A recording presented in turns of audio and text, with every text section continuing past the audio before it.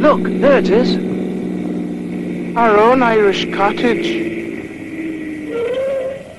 Sure, and what a fine place to be spending the weekend. Just the four of us. The old Beatles. Oh, brother,